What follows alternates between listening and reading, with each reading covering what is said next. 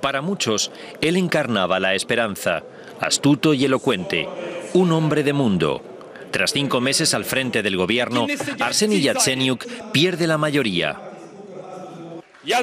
Presento mi renuncia tras la ruptura de la coalición y el bloqueo de las iniciativas del gobierno.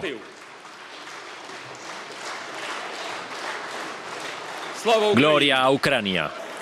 Horas antes, dos partidos habían declarado que dejarían de apoyar al gobierno.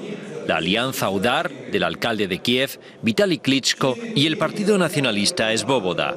Ahora impulsan nuevas elecciones parlamentarias, al igual que el presidente Petro Poroshenko. La ruptura de la alianza de gobierno no pudo ocurrir en peor momento. Todo el mundo tiene los ojos puestos en Ucrania y sobre todo en aquella área del este del país donde hace una semana cayó el avión de Malaysian Airlines. Allí los rebeldes prorrusos siguen impidiendo el trabajo de los expertos internacionales. Sigue habiendo algunos locos que nos impiden acceder a los cuerpos que quedan. Algunos los llaman terroristas, yo les digo criminales, pero al final es casi lo mismo. A los expertos les llama la atención las perforaciones de algunas partes del avión.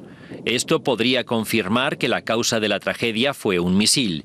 Pero si esto se confirmara, quedaría todavía mucho trabajo para determinar quién lo lanzó.